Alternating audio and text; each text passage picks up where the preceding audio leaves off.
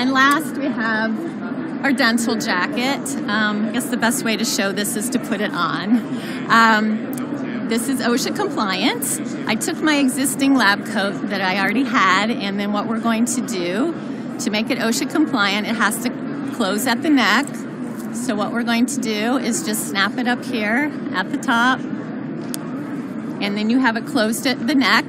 You can wear it like that, or you can flip it up if you want more coverage. And then the same thing on the sleeves. You just snap the sleeves closed, and there you go. You've got your OSHA compliant dental jacket.